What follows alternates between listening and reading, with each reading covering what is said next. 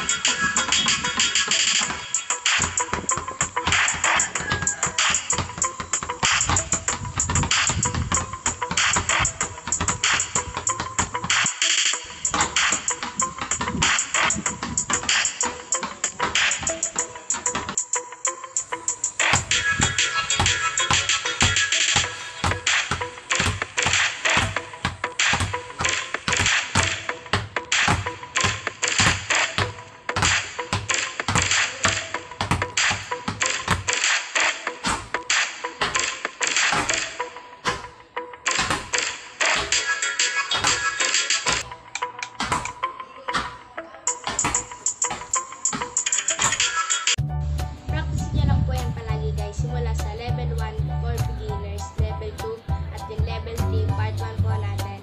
At syempre yung ginawa ko po ngayon, level 3 advanced part 2. Bago matapos ang video,